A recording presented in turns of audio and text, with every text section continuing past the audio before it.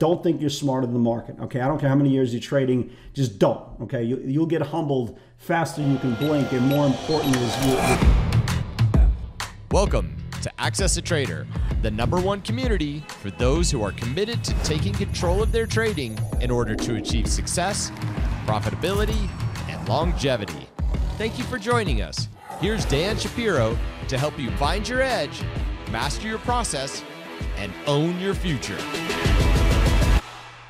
Hey guys, good evening everybody. Welcome to another edition of uh, the AccessATrader.com nightly wrap-up show. Hope everybody uh, is doing uh, well. Hope everybody had a good day of trading. Uh, just like always, guys, just a quick reminder, we really, really do appreciate uh, all the love and support. Uh, if you haven't done so already, subscribe, get notified when we are uploaded, and like the videos to help support the channel. So let's talk about the tape, right? This is where, again, we continue to talk about the greatest reality show uh, that's not on television, right? Look, I, am doing this for a long time. Um, I've been in a lot of bull markets. I've been in a lot of bear, I can't say a lot, a good handful of bull, bull markets and a good handful of bear markets. And the one thing that is certain, okay, and I say this all the time, and repeat this with me. If you have somebody hold their hands on both sides, right, turn around and say, "We don't know," right? We don't know. So anybody who's trying to forecast the market, who's trying to guess where things are going to be three weeks from now, three months from now, three years from now, can we at least get it right tomorrow? Right? That's the whole point. Is can we? Is it so much to ask for?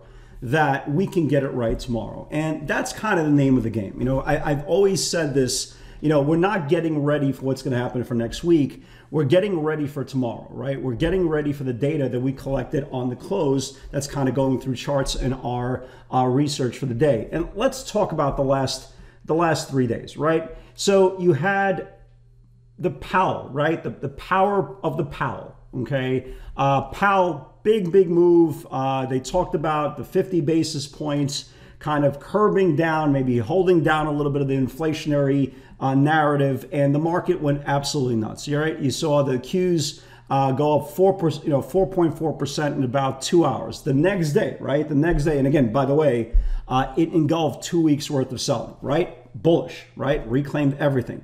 The next day, even though it was an inside day, okay, we reclaimed the previous day's channel and progressed on price action, right? That's deemed bullish. Friday, right? Friday. Friday came along, you had a strong jobs number, right? Um, and unlike the last two strong jobs numbers that crushed the market, the market, again, if you watch the weekend video, the market uh, did great, right? Uh, they made back 85% of the pre market losses, and it looked super duper really good going into this week, right? We held the five day moving average and we reclaimed back the 150 that it kind of lost the, day before on an inside day. So everything looked good, right? Everything looked promising. But remember, just because something looks good doesn't mean it is good, right? From afar, right? From afar, really, really far, my mother in law resembles a human being, right? Same flesh, same blood that we all dripping. in. When you get closer, you realize it's Lucifer's spawn, right? The woman of Satan. So not everything looks good from afar and, and, and looks good from a near. Before stocks need to go higher or go lower, they need to confirm, right? Everything that we have on the table for going into the next day is based on data, right? It's literally based on data. So last night, um, I had a you know pretty good watch list. I had some really good levels uh, that I was watching for today. And, you know, you woke up this morning, you saw the NASDAQ futures down, you know, 20, 30 handles, nothing, right? Not a big deal. And then slowly but surely, you're starting seeing a little bit of nuggets kind of drop, right? Little headlines here, little headlines there but nothing really crazy. Remember, again, super bullish that the Bulls defended the jobs number on Friday and continued to build potentially going into this week. And in the morning, you started seeing a little bit of headlines. There was chatter that um, Tesla was going to cut 20, you know, cut some production from China and this, that, and the third, and blah, blah, blah. They took Tesla down. And then, you know, moments later, they came out and said, ah, I don't know if this is really, if this is even real news. The stock started moving up. And then slowly but surely, we realized, well, wait a minute. The stock just moved up basically into supply uh, into Friday's breakdown. So we'll get to Tesla in a second, right? So the most important part, and, and again, I, I say this in, in the nicest way possible, right? stop being that, you know, stop being that trader who thinks they know it all. You don't know anything, right? I don't know anything. You don't know anything. You know, we, we, we do our best, right? We do our damnedest to, to research the night before to get ready for the next day, right? Not the day after, the day after that, the day after that, right? Not Arbor Day or Flag Day or Groundhog Beaver Day, whatever the hell it's called, right? It's all about tomorrow. And two things are either going to happen. Our research is going to confirm, and usually good things are going to happen, or it's not, and we're going to have to pivot, no pun intended, to the other side of the market, and that's exactly what we did here. And the, the, what I what I didn't like, right? What I didn't like, what I saw today was the idea that we gave back half the bar, right? Gave back the half the Powell bar for absolutely no reason. Now, again, you could make an argument. Well, maybe this was, you know, maybe this was uh, a delayed reaction from the jobs number. How much more of a delayed reaction you had? You had six and a half hours on Friday to figure it out, right? So I don't know if that was that. But if you look at the final tallies, you know, they're they're going to show you for it. Number one, we lost half the bar on the Qs, and that's not a good thing. Uh, S&P today uh, was down a little bit less than two percent, but again, that's you know that, that's something to, to think about because if you look at the S&P, right? If you look at the S&P, this is now three days in a row of lower highs. The S&P let us up. The problem with the S&P uh, leading us up, think about what's in the S&P. A lot of financials, right? If you look at a lot of financial stocks tonight, you're going to see why the market kind of held down, right? Look at Goldman Sachs. Look at Bank of America, right? Look at JP Morgan, right? Not a good thing. So the you know the banks uh, definitely led uh, the market lower today. Uh, you had Apple that showed a lot of strength this morning and and really really reversed about face holding on to dear life now back at the 50-day moving average. Again, that's not a good thing. Uh, you had Tesla. Remember we were just we've been talking about Tesla now off and on for a couple of weeks. And hey, it just hasn't rallied, hasn't rallied, half hasn't rallied.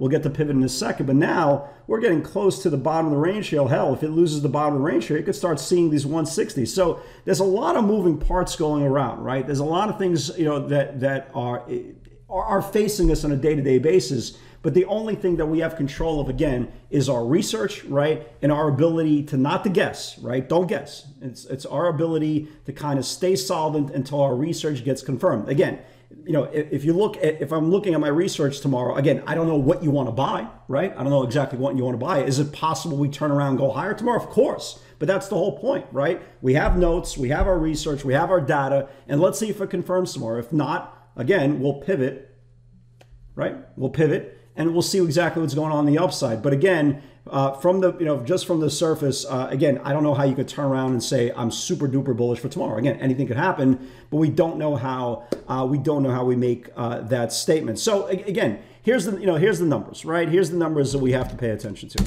So the QQQs uh, in the last couple of days reclaimed the 510 and the 150 in the last three days lost the 510 and 150 we're kind of in the middle of the range here.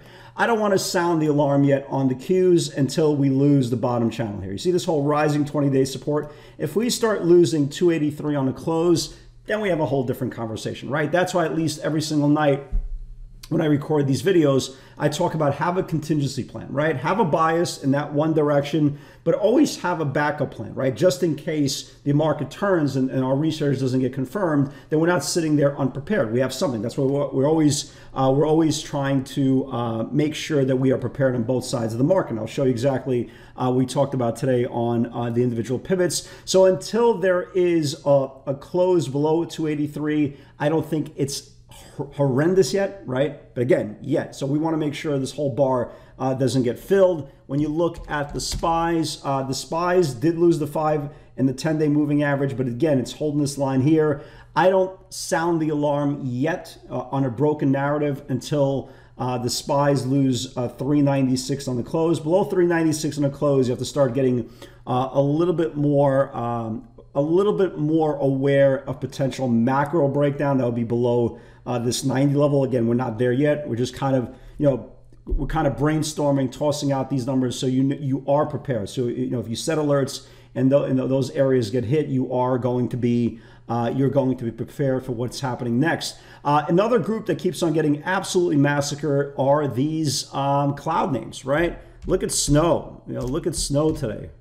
Snow got you know beat down, right? They got beat down. CRM Uh, we had a really, really strong pivot in the room. We'll, we'll, get to that in a second. CRM broke down. Crowd that was down like 20, you know, 20 bucks whatever the hell is 20% on earnings. It's starting to roll over. It's maybe one more day, uh, maybe one or two days away from maybe testing lows. So there's a lot of there's a lot of names that, despite the strength of the market the last you know two three days you know again we're, we're starting to get into uh, uneasy territory. Again we'll obviously take a day by day trade by trade but the most important thing guys don't think you're smarter than the market okay? I don't care how many years you're trading just don't okay? You, you'll get humbled faster you can blink and more important is you you you know you'll lose your solvency status and that's not a good thing uh, if you want to continue pressing buttons. But again look at the final final tallies for the day. You got the dow down 500 you got the s&p down 72 points and you got the Nasdaq down two percent, uh, down uh, 220 points on the day. Again, we'll see. Again, I, I've, I've a ton of shorts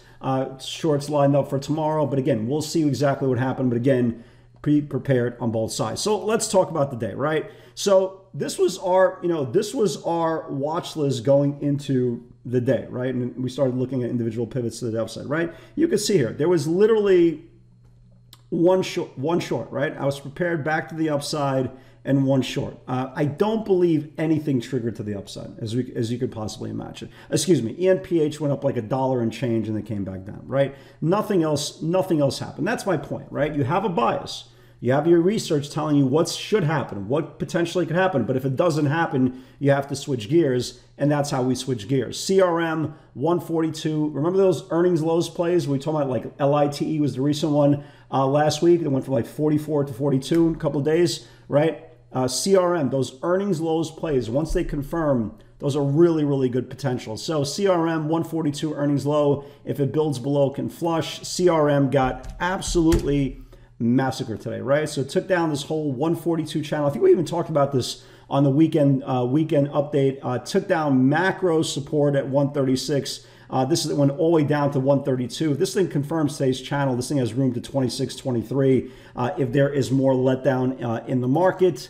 Uh, Disney never got into uh, this 100 area. ENPH again uh, went up like a dollar and change, went to like the you know uh, 340. Not, not not a big move. It's so thin, not a big move there at all. Uh, ANF obviously never got up there either. Uh, Peloton I like, never got there. Zillow I like, never got there. Netflix 323 never got there. You see the message, right?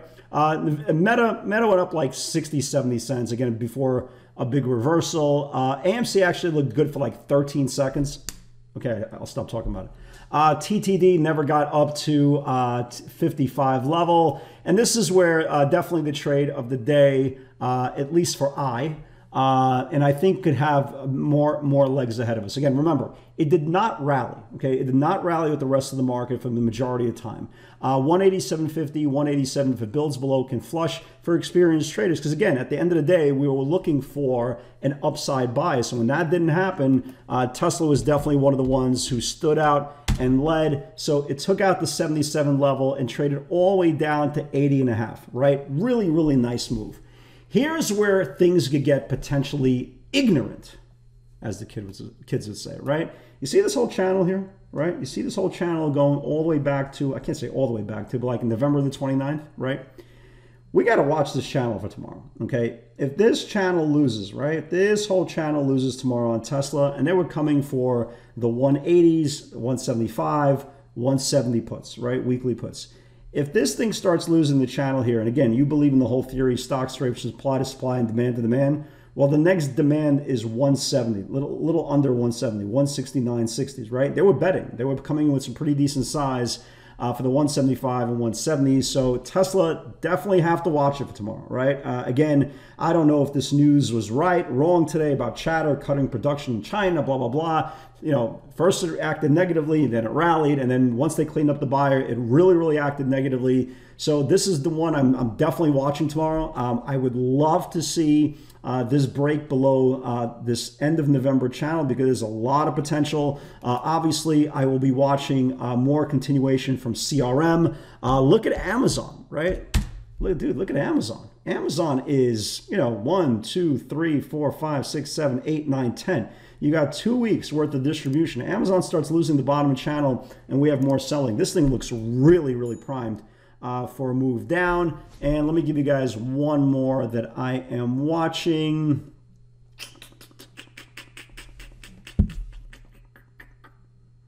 Yeah, look at Target, right? Look at Target.